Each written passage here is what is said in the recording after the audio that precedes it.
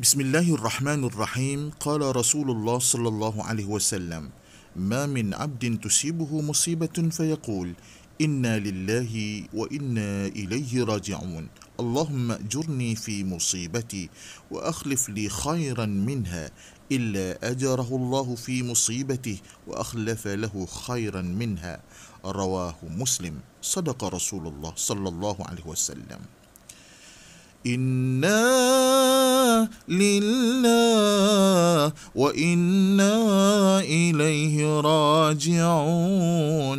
إنا لله وإنا إليه راجعون.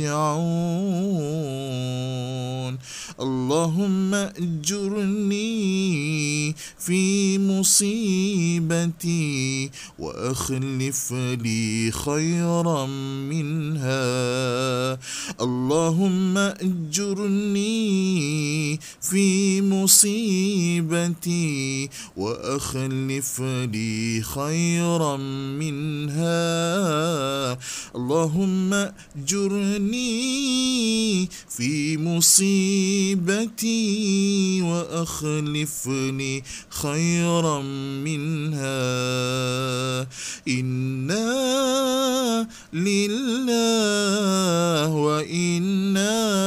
إليه راجعون.